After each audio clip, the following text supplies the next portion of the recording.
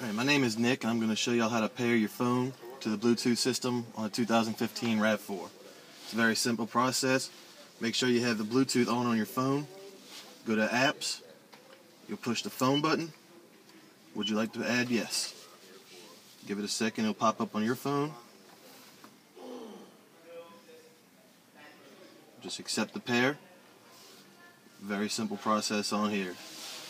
Now you also see that your phone and audio player is connected, meaning if you have any kind of music on your phone, your music will go through there wirelessly as well. All of your controls as far as making your phone call are all going to be right here on your steering wheel.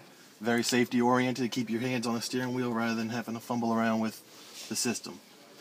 Lastly on here, whenever you do have everything, you can go to your audio, go to Bluetooth audio, any kind of music that's on your phone is going to pick up from there.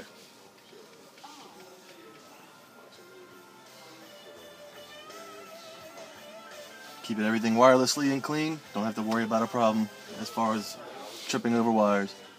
My name's Nick again over at Northshore Toyota. Come see me. I can show you a lot more cool features about this vehicle.